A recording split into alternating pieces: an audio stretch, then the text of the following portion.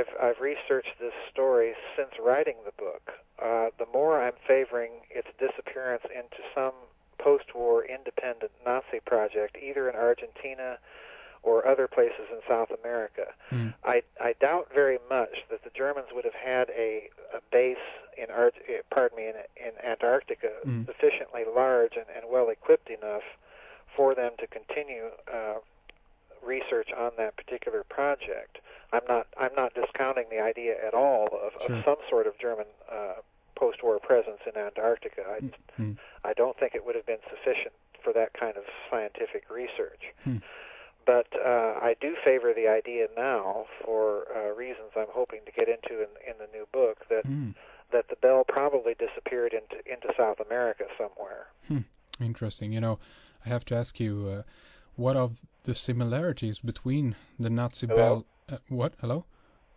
Can you hear me? Hello? Hello? Yeah, can you hear me? Hmm. Seems like we lost the line. Hello?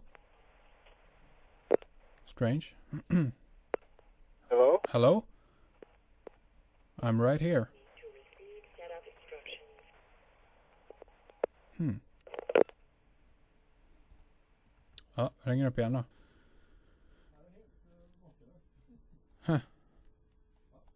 Ja. ja, lite så va?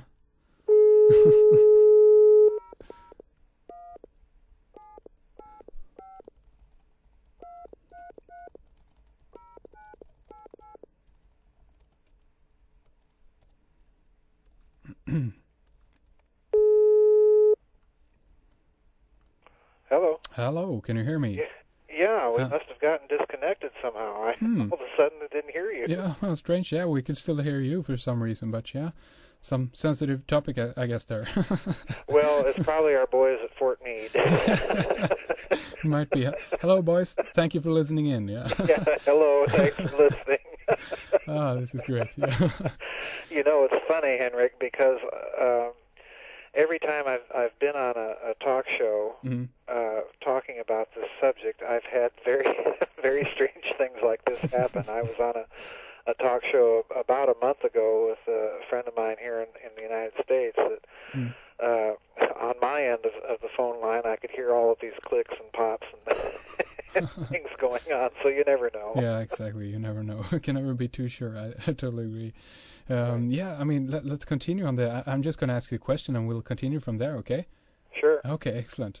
Um, yes, I did want to ask you, uh, Joseph, regarding the similarities between the Nazi bell and, of course, the acorn-like craft that was Ah. downed in, in Kecksburg. Tell us about that. Right. What's your take on that?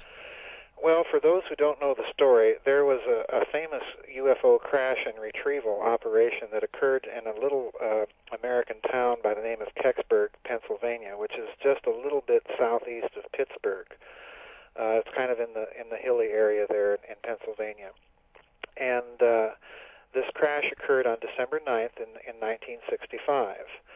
And uh, unlike the Roswell story, this this object was seen by several eyewitnesses who got to the scene before the military did, uh, and they described it as being approximately nine to 12 feet wide and, and about 15 to 18 feet tall, and acorn shaped, and it gave off a hissing and popping noise. And uh, those dimensions and the shape connect very clearly to the bell. In other words, uh, the bell's dimensions and, and its shape are very similar to what happened or crashed at Kecksburg. And the other interesting connection is the sound, because one of the names that the Germans gave the bell was Die Bienenstock, which is the beehive. Hmm. So the bell, uh, you know, the bell has another connection there, even in terms of the sound. Oh, yeah, yeah. But the most important connection, I think, is what happens after the American military arrive at Kecksburg. They they place this little town and, and its environs basically under martial law for a few hours. Yeah. They they bring in a truck. They put this object under a tarpaulin, and then they haul it to Wright Patterson Air Base in Dayton, Ohio. Mhm. Now, there, this device is seen by an American construction worker whose company was contacted to deliver approximately 4,000 ceramic bricks to the airbase. and he delivers them to this hangar where he sees this acorn-like object behind some silk screens up on on struts and pedestals. And he describes it as being approximately the same dimensions as the Kecksburg bell, and this is an incident that happens a couple days after the crash at Kecksburg, so Mhm. it's probably the same object that we're talking about. Hmm. Now, these ceramic bricks are extremely interesting to me because it's another data point that connects to the Nazi bell. Because the bell was housed, when it was tested underground, was housed in a chamber in this mine in, in Ludwigsdorf that was lined with ceramic bricks precisely like this construction worker described. So Mhm. there's yet another data point that Hmm. connects the two. Mm. So I speculate, uh, both in Reich of the Black Sun and in, in the SS Brotherhood of the Bell, that something like the Bell crashed in Pennsylvania. It got away from whoever was testing it, and incidentally, it, it comes uh, on a track. The, the Kecksburg object comes on a track from the Arctic Circle up near Hudson's Bay in, in, in Canada, Hmm. which incidentally is one of the areas that uh, post-war literature indicates that the Nazis had established some secret bases. So you know, there again, we, we've got yet another odd little connection. Mm, yeah. So when we pile it all up, I think that what crashed at Kecksburg probably was some uh, residue or some relative of this Nazi technology, and that's precisely the reason that the American military showed up so quickly, Hmm. cordoned off the area so quickly, and, and carted that device out of there. And I, I've always found it extremely interesting uh, regarding the Kecksburg story that the day after it occurred, uh, the, the director of NASA, the governor of the state of Pennsylvania, and the chairman of the Joint Chiefs of Staff of, of the United States are at President Lyndon Johnson's ranch in Texas. and supposedly they are, according to the, the public uh, spin that they put on this meeting, they're supposedly talking about the war in Vietnam. hmm You know, now that may be something that the president and the chairman of the Joint Chiefs of, of Staff would discuss, but certainly not the governor of Pennsylvania and, Hmm, the, no. and the chief of NASA. You know, how stupid do they think we are? Interesting. You know, um, I, I, I have to ask you, you know, regarding some Sure. of the witness testimony in regards to the Kecksburg scenario there. Uh, claimed, you know, to hear screams, uh, strange screams. Even there is even testimony that, that states that uh, someone actually saw a hand coming out of the, you know, top of of this uh, acorn shape, shaped, um, Huh. you know, flying, uh, you know, object, whatever. Um, any thoughts at all on that?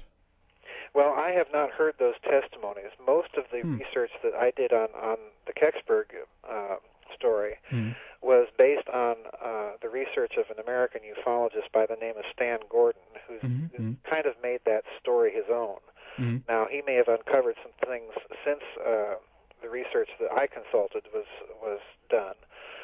I wouldn't discount those types of things for a very peculiar reason, because the kind of, of uh, physics that I think we're dealing with with the Bell and also with the Philadelphia experiment Mm. is a physics that theoretically, and I stress that word, is potentially capable of some sort of molecular disruption. Uh, hmm. So you know, there's there's no telling uh, really what to do with stories like that. I, I wouldn't discount them just because they sound strange or weird. Time machine, fast forwarding uh, evolution, possible? Uh, that's actually another interesting question, and it's it's one I don't get into in either book. However, there's an American novelist by the name of, of James Rollins who's written a book called Black Order, hmm and it's all about the bell. Hmm. And in this novel, he speculates that one of the things that the bell did because of its extreme time dilation effects was that it was capable of manipulating evolutionary and biological processes. Hmm. so, you know, where he got his information, I don't know. Hmm. uh, you know, it's it's another line of speculation that's Yeah. that's a rather interesting one. Oh yeah, indeed. Oh, fascinating. You know, I think that this will be an excellent place to kind of round things up for this segment, and and we're going to continue to speak in the subscriber section about uh, Giza Death Star, of course. But before we do that, I want to, you know, give you an opportunity to, to tell people again about your website, uh, about your books, and how we can get them, of course.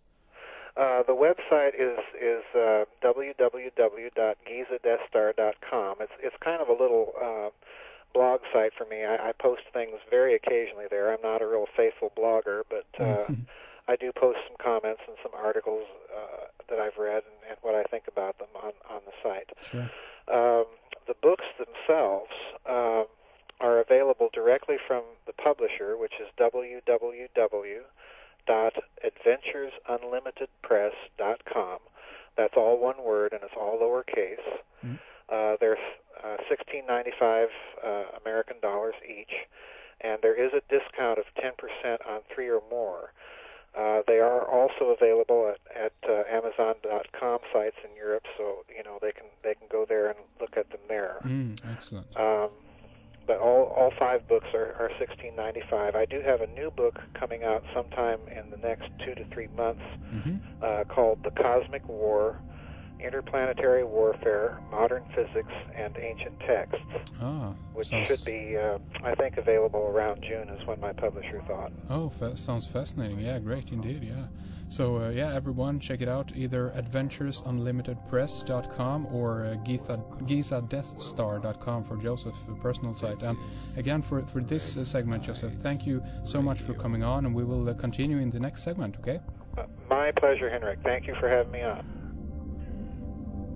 We are going to continue now with Joseph in the subscriber section. We are going to dive into his fascinating three-part book series on the Giza Death Star.